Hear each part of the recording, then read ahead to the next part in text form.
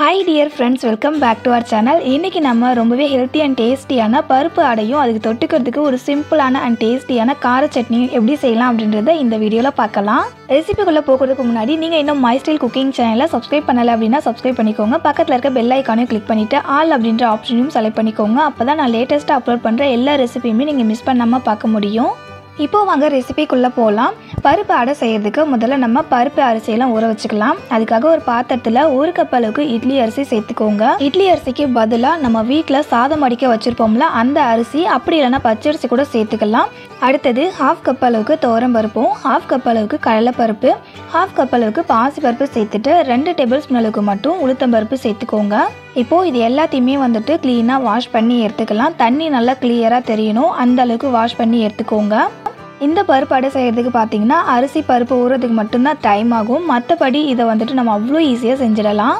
தண்ணி இந்த அளவுக்கு நல்லா கிளியராக வர வரைக்கும் கழுவி எடுத்துக்கோங்க. இப்போ இது கூட ஒன்றரை டேபிள் ஸ்பூன் அளவுக்கு பெருஞ்சீரகம் சேர்த்துட்டு காரத்துக்காக காஞ்ச மிளகாய் சேர்த்துக்கலாம். நான் வந்துட்டு நாலு காஞ்ச மிளகாவும் ஒரு காஷ்மீரி மிளகாவும் சேர்த்துருக்கேன். காஷ்மீரி மிளகாய் கலருக்காக மட்டும்தான் சேர்த்துருக்கேன். காரத்துக்காக இல்லை. அரிசியும் பருப்பையும் ஊற வச்சு அரைக்கும் போது பெருஞ்சீரகமும் காஞ்ச மிளகாவும் சேர்த்துக்கிறத விட இந்த மாதிரி அரிசி பருப்பு கூடவே சேர்த்து நம்ம ஊற வச்சு இந்த அடை செஞ்சோம் அப்படின்னா டேஸ்ட் ரொம்ப நல்லாயிருக்கும் வாசனையும் ரொம்பவே சூப்பராக இருக்கும். இப்போது இந்த அரிசி பருப்பை ஒரு ஆறுலேருந்து எட்டு மணி நேரத்துக்கு ஊற வச்சுக்கோங்க. நல்லா ஊறி வந்திருக்கும். அடுத்தது இந்த அடை தோசைக்கு டேஸ்டியான ஒரு கார சட்னி செஞ்சுக்கலாம். அதுக்காக வானலை சூடுபடுத்திட்டு அதில் ரெண்டு டேபிள் ஸ்பூன் அளவுக்கு எண்ணெய் சேர்த்துட்டு ரெண்டு காஞ்ச மிளகாய் மூணு காஷ்மீரி மிளகாய் சேர்த்துக்கோங்க. இப்போது இந்த மிளகாவை எண்ணெயில் நல்லா வறுத்து விட்டுக்கலாம். நான் ஃபஸ்ட்டே சொன்னது போல் காஷ்மீரி மிளகாய் வந்துட்டு கலருக்காக மட்டும்தான் சேர்த்துருக்கேன். அது வந்து காரம் கொடுக்காது.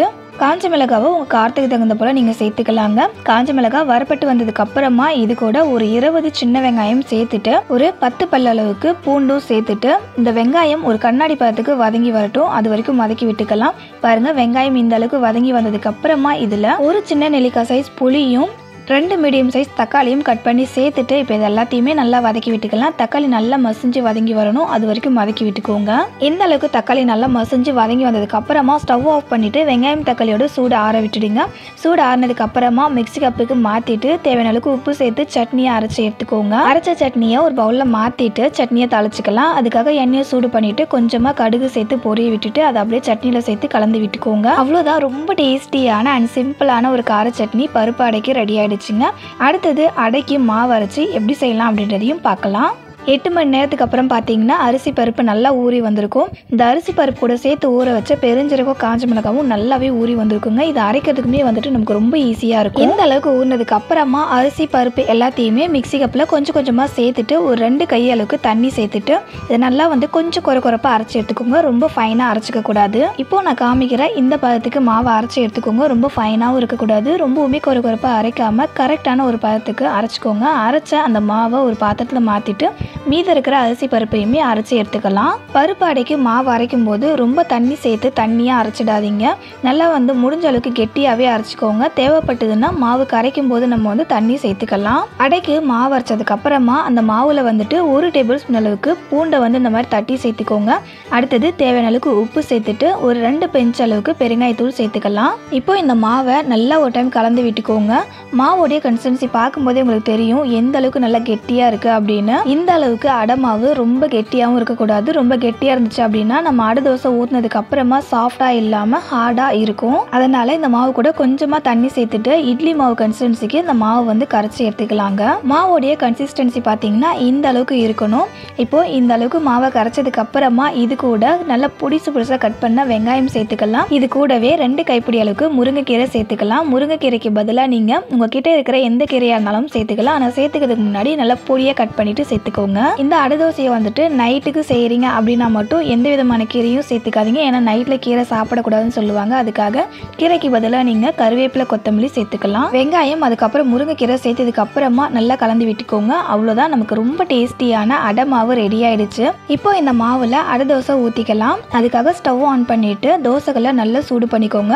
தோசைகள் நல்லா சூடானதுக்கு அப்புறமா ஒரு வெங்காயம் வச்சு நல்லா தீத்தி விட்டுக்கோங்க. இந்த மாதிரி வெங்காயம் வச்சு தீத்துறதால நம்ம வந்துட்டு அடை தோசை ஊற்றும் போது மாவை மாவை விடுறதுக்கும் எடுக்கும்போதும் ரொம்ப ஈஸியாக வரும். தோசை செய்யும்போது கூட இதை நீங்கள் ஃபாலோ பண்ணலாம். தோசைக்கல் நல்லா சூடானதுக்கு அப்புறமா இதில் ரெண்டு கரண்டி அளவுக்கு மாவு சேர்த்துட்டு மாவை தீத்தி விட்டுக்கலாம். மாவு வந்துட்டு ரொம்ப தின்னாக தீத்தி விட்டுக்காதீங்க. கொஞ்சம் மொத்தமாகவே தீத்தி விட்டுக்கோங்க. அடை தோசைக்கு எப்போவுமே தின்னாக வந்து நம்ம மாவை தீத்தி கூடாது கொஞ்சம் மொத்தமாக தான் இருக்கணும். மாவு ஊற்றி தீத்தினதுக்கு அப்புறமா கொஞ்சமாக எண்ணெய் சேர்த்து வேக விட்டுடுங்க.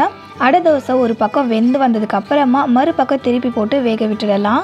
செம்ம ஹெல்த்தியான இந்த பருப்பு அடையை வாரத்துக்கு ஒரு முறையாவது செஞ்சு சாப்பிடுங்க. ரொம்ப ஹெல்த்தியாக இருக்கும். அடை தோசை ரெண்டு பக்கமே வெந்து வந்ததுக்கு அப்புறமா தோசைக்கல்லேருந்து எடுத்து சர்வ் பண்ணிக்கலாம். அவ்வளோதாங்க. ரொம்ப ரொம்ப ஹெல்த்தியான அதே சமயம் ரொம்ப டேஸ்டியான சாஃப்டான அடை தோசை ரெடி இதே போல் மீத இருக்கிற எல்லா அடை மாவுலுமே அடை தோசை ஊற்றி எடுத்துக்கோங்க.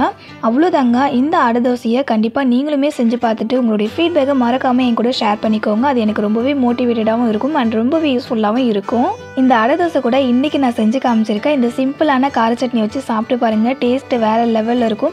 இந்த சட்னி மட்டும் இல்லை இதுக்கு வந்துட்டு நம்ம பருப்பு குழம்பு வச்சு சாப்பிட்டாலுமே அவ்வளோ டேஸ்டியாக இருக்கும். நான் சொன்னது போலவே இந்த பருப்பு அடையும் கார சட்னியும் செஞ்சு பாருங்கள் இந்த ரெசிபி உங்களுக்கு பிடிச்சிருந்ததுன்னா இந்த வீடியோக்கு ஒரு லைக் பண்ணிவிட்டு உங்கள் ஃப்ரெண்ட்ஸ் அண்ட் ரிலேட்டிவ்ஸ்க்கும் ஷேர் பண்ணிக்கோங்க. அவங்களுக்கும் ரொம்பவே யூஸ்ஃபுல்லாக இருக்கும். இதே போல் நம்ம சேனலில் வர எல்லா இன்ட்ரெஸ்டிங்கான அண்ட் டிஃப்ரெண்ட்டான ரெசிபியை பார்க்கணும் அப்படின்னா மை ஸ்டைல் குக்கிங் சேனலை சப்ஸ்கிரைப் பண்ணிக்கோங்க. இதே போல் ஒரு டேஸ்டியான அண்ட் டிஃப்ரெண்ட்டான வேறு ஒரு ரெசிபியோட அடுத்த ஒரு வீடியோவில் மீட் பண்ணலாம் ஃப்ரெண்ட்ஸ் தேங்க்ஸ் ஃபார் வாட்சிங்